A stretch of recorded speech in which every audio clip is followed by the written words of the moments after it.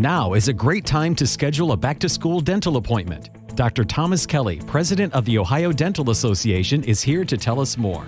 Your child's smile is as important to us at the Ohio Dental Association as it is to you. Here at the Ohio Dental Association, we look forward to partnering with you to help them maintain a healthy smile that will last a lifetime. Low sugar snacks paired with great brushing and flossing habits can become healthy ways of spending quality time together. Make sure you and your kids see an Ohio Dental Association member dentist twice a year for regular checkups. Ohio Dental Association member dentists are located throughout the state and are dedicated to providing the highest quality dental care. These dentists, through the ODA, have access to superior ongoing education, training, and resources.